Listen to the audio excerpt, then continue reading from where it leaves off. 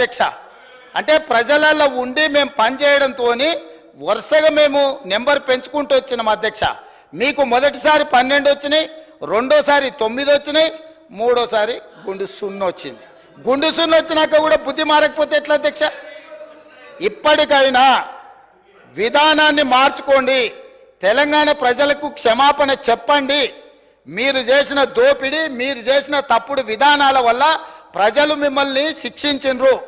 దాని నుంచైనా మీరు గుణపాఠం నేర్చుకొని పద్ధతి మార్చుకొని తెలంగాణ ప్రజల యొక్క హక్కుల కోసం ముందుకు రావాల్సిందిగా వారికి సూచన చేస్తున్న అధ్యక్ష. మహేశ్వర రెడ్డి గారు.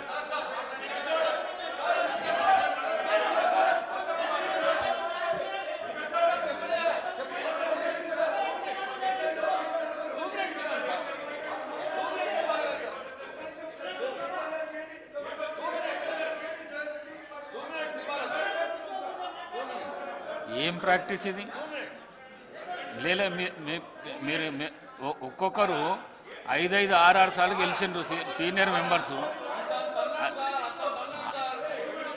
ఏ ఏం ప్రాక్టీస్ ఇది? మీరు మీరు చెప్పిన దానికి సభానాయకుడు సమాధానం ఇచ్చిండు. దానికి కూడా సమాధానం చెప్తారా మీరు? మీరు చెప్పిన దానికి సభానాయకుడు సమాధానం చెప్పిండు. మళ్ళీ ఈ ప్రాక్టీస్ ప్రశాంత్ రెడ్డి గారు ఈ ప్రాక్టీస్ మంచిది కాదు. మీరు చాలా సీనియర్ శాసనసభ్యులు ఈ ప్రాక్టీస్ మంచిది కాదు. కేటీఆర్ గారు please please please.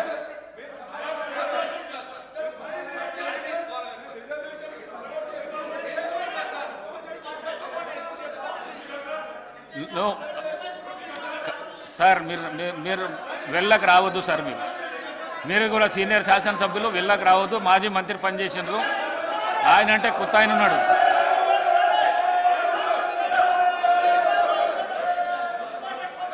Maheshwar Reddy గారు. సార్ ఒక ఫైవ్ మినిట్స్ సార్. ఒక five minutes please sir. Sir sir ఒక ఫైవ్ మినిట్స్ ఒక ఫైవ్ మినిట్స్ ఏమని సార్. Two minutes sir? అధ్యక్ష. ముఖ్యమంత్రి గారు. సార్ ముఖ్యమంత్రి గారు స్వీపింగ్ రిమార్క్ చేశారు సార్ ముఖ్యమంత్రి గారు స్వీపింగ్ రిమార్క్ చేసిండు సార్. సార్ ముఖ్యమంత్రి గారు స్వీపింగ్ రిమార్క్ చేసిండ్రు. మా అభినేత కేసీఆర్ గారు మాట్లాడిండ్రు ఇష్టమైన మాట్లాడారు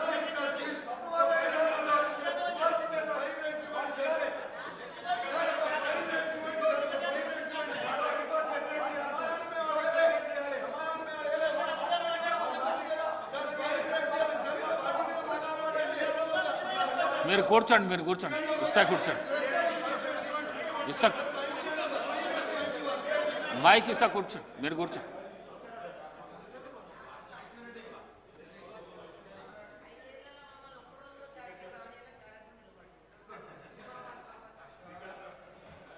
గౌరవ ముఖ్యమంత్రి గారు మాట్లాడిన విధానం ఏదైతుందో రాష్ట్ర ప్రజలని మొత్తం సభని తప్పుదోవ పట్టించే విధంగా చాలా దుర్మార్గంగా మాట్లాడినారు సార్. సార్ ఇది టీఆర్ఎస్ ఎంపీలు ఫార్మ్ బిల్స్కి మద్దతుగా నిలబడ్డారు ఓటేసినారు అని చెప్పి చాలా అన్యాయంగా మాట్లాడారు. అధ్యక్ష ఒక్క మాట. అధ్యక్ష రామ్నాథ్ కోవింద్ గారి ఎలక్షన్ గురించి చెప్పారు. అవును సార్ ఎస్ మేము ఏం చేసినా బాజాప్తా చేసినాం. ఒక దళితుడు రాష్ట్రపతి అవుతుండంటే మేము అండగా నిలబడ్డం ఎస్ బరాబర్ ఓటేసినాం. ఉపరాష్ట్రపతిగా ఒక తెలుగు బిడ్డ అవుతున్నాడు వెంకయ్య నాయుడు గారు అంటే ఎస్ అండగా నిలబడ్డం ఓటేసినాం. కానీ తదుపరి మళ్ళీ నెక్స్ట్ టైం ఇంకొకరిని పెడితే మేము ఉల్టా క్యాండిడేట్ని పెట్టినాం యశ్వంత్ సిన్హా గారితో. మేము మద్దతు ఇవ్వడమే కాదు సార్ నేను పోయి రాహుల్ గాంధీ గారు పక్కన కూర్చొని పార్లమెంట్లో మా పార్టీ తరఫున నేను సంతకం పెట్టి సార్. వారు ఈ రకంగా మిస్లీడ్ చేయడం తప్పు. ఫామ్ బిల్స్కి మేము మద్దతు ఇవ్వలేదు వ్యవసాయ చట్టాలకు మేము మద్దతు ఇవ్వలేదు వాటిని రాజ్యసభలో వ్యతిరేకించినాం గట్టిగా కొట్లాడినాం అధ్యక్ష ఆ విషయంలో. అనుమానం అవసరం లేదు. ఇంకా చాలా చెప్పారు అధ్యక్ష. వారికి నేను చెప్పేది ఒకటే అధ్యక్ష. ఇంకేదో విలీనాలు చీకటి ఒప్పందాలు అన్నారు అధ్యక్ష. నేను రేవంత్ రెడ్డి గారికి ఒకటే చెప్తా ఉన్నా అధ్యక్ష. మాకు చీకటి స్నేహాలు అలవాటు లేదు. రేవంత్ రెడ్డి గారికి ఉన్నాయి అధ్యక్ష. ఢిల్లీలో బీజేపీ వాళ్ళతో స్నేహం చేయడం ఇప్పటికి కూడా ఆయన పనులన్నీ ఢిల్లీలో బీజేపీ ఎంపీలే చేస్తారు సార్. అధ్యక్ష కంక్లూడ్ చేస్తున్నా సార్. ఆయన ఆయనేమో ఎటంటట్టు మాట్లాడచ్చా సార్. ఎన్ని మాట్లాడినారు సార్? అధ్యక్ష నేను అనేది ఒకటే. కేసీఆర్ గారి మీద ఆయన ఇష్టం వచ్చినట్టు మాట్లాడినారు. నేను ఒకటే అంటా ఉన్నా సార్. ఒకటి విలీనం చేయడానికి మేమేమి రేవంత్ రెడ్డి గారి లాగా పరాన్న జీవులం కాదు సార్. వారు పదవుల కోసం పార్టీలు మారిండు. మేము అట్లా కాదు సార్. పదవులు వదులుకున్నాం తెలంగాణ కోసం. కేసీఆర్ గారు మా పార్టీ ఒకసారి కాదు వంద సార్లు రాజీనామా చేసినాం. ఆయనలాగా మేము పరాన్న జీవులం కాదు. ఇంకొక మాట అధ్యక్ష ఇవాళ బీజేపీ వాళ్ళతో చీకటి స్నేహం ఎవరు చేస్తున్నారు సార్? ఎందుకు భయపడుతున్నారు మోడీ గారి పేరు తీసుకోవడానికి కూడా? ముఖ్యమంత్రి గారు కేసీఆర్ పేరు చెప్పబోతే బతుకుదేరు లేదా సార్?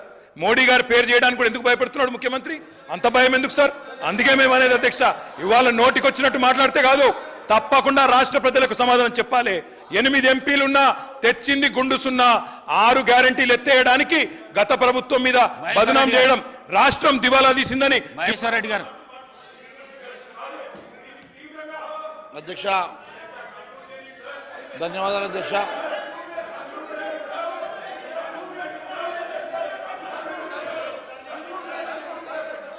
అధ్యక్ష ఈరోజు